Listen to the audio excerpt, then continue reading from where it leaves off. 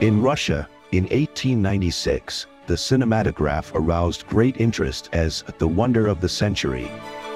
Maxim Gorky, who visited the fair on behalf of a newspaper, evaluated it as follows. Your nerves tense, your imagination takes you to an unusual, monotonous, colorless, silent, completely different world.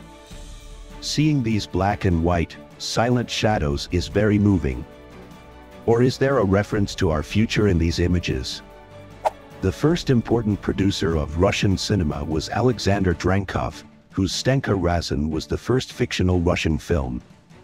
By the way, Drankov managed to film Tolstoy celebrating his 80th birthday with his family.